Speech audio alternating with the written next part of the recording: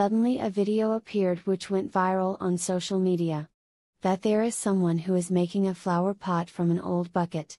This bucket was originally blue, then he painted it black, so this bucket looks elegant, and can be a selling point that is more expensive than ordinary buckets. Maybe the initial price of the bucket is only $10 then it could be $50. Hopefully today's news is useful, don't forget to subscribe, like, and comment, guys.